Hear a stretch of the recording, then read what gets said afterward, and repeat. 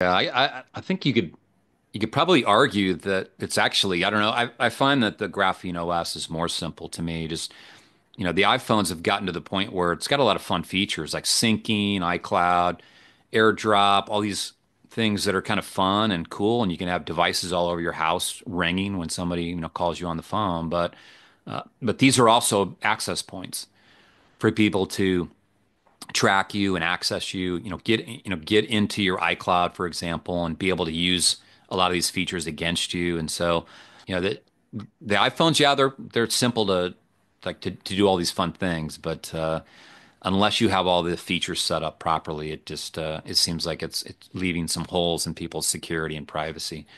Yeah. Um, um, so that's it. That I think that's good on the Graphene OS, and I know that Mark 37 does much more. One of the other products, just to highlight, would be um, your Linux-based laptop. I think people uh, would be interested in that.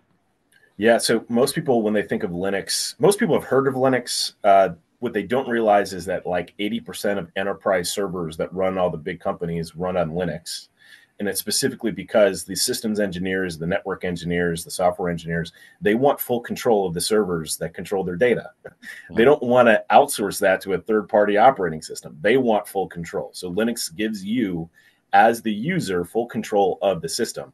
And over the last four or five years,